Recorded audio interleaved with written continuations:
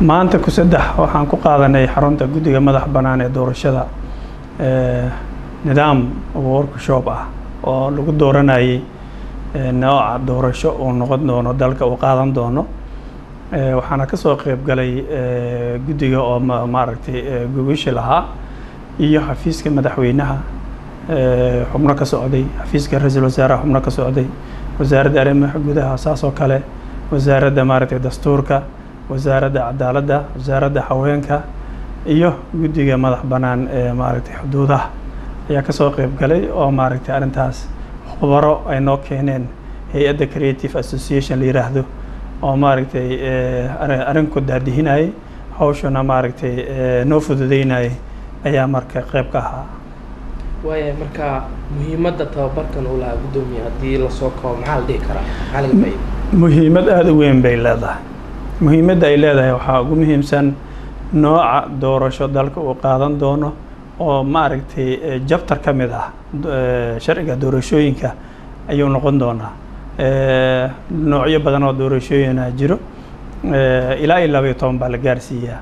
Marka midkaan aan hadda aan qaadan rabno aan ka shaqaynayno dhinac walba aan ka fiirinayno hadday noqon lahayd xagga dhaqanka hadday noqon lahayd federaalka la qaatay hadday noqon lahayd maaragtay aqoonta dadka iyo maaragtay fahamka kan ugu sahlan oo maaragtay waddanka aan u qaadan karo oo maaragtay la jaan qaadi karo duruufaha dalka ka jira inaan maaragtay aan ka shaqayno madaxda dalkana aan maaragtay aan horgeyno una sheegno ummadda soomaaliyeedna la baro lana fahamsiiyo nidaamka doorashada ugu habboon oo maaragtay gruubkan hadda ka shaqeeya ama kooxdan hadda aan soo sheegay xafiisyada kala duwan ah inay ka shaqeeyaan ilaa iyo level kasta mase xeer kasta ee bulshadu madax ilaa maaragtay shacab la wada gaarsiiyaan ka shaqeynayna. Waayahay intii seminaarka uu socday labiiyo toban qodob baa guddigu soo bandhigeen oo dunida hab doorasho ah.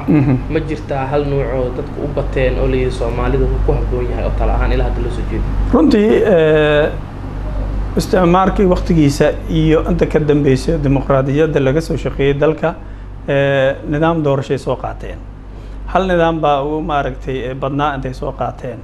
P r-ka ama proportions proportionka midka la yiraahdo ayay soo wada qaateen looga soo shaqeeyey waddankan. Kaasna waa midka hadda ugu maaragtay cadcad oo ugu habboon inuu qaato oo weliba close list markuu yahay. Isagoo open list ah jiro isagoo maaragtay close list ah. Open list iyo close list waxay ku kala duwan yihiin.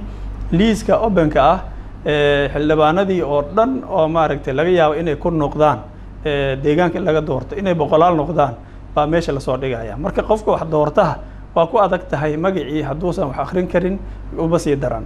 Hadduu wax akrin karana inuu ku wareeraa laga yaabo. Laakiin close list xisbiga unbaad dooranaysaa dadka marka isagaa soo saaranaya xildhibaanada noqonaya. Marka sidaasay ku kala duwan yihiin labadaasna maaragtay baa jiro oo probationka ah kuwaasaana hadda maaragtay u muuqata in maaragtay horeyna loogu soo shaqeeyey haddana uu maaragtay cadcad inay maaragtay kuwa runtii nimanka khubradana duruufaha dalka waa soo akriyeen xaaladda maaragtay talooyin bay naga siiyeen laakiin go'aanka soomaali bay u taallaa waaya guddoomiye said cali dad badan wacyi badan inaysan ka haysan arrimaha doorashooyinka ayaa laga yaabaa.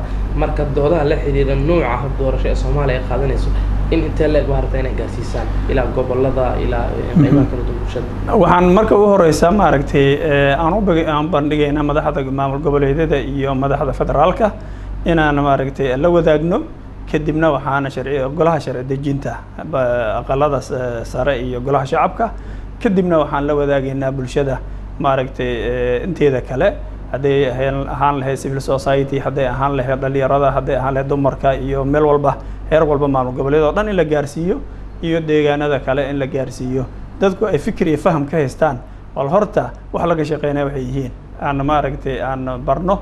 Waxaan hadda annagana loo tababarayaa oo khubaradu ay noo tababarayaan inaan wixii gadi karno. Aqoontii markaan helno oo aan iyaga meesha ay joogaan aan soo dhaweyno ama soo gaarno kadibba inaan bulshadii iyo madaxdii maaragtay dalka aan ka gadi karno fahamsiin karnana ulajeedooyinka iyo sababaha bahalaha aan u dooranay iyo waxay tarayaan ummadda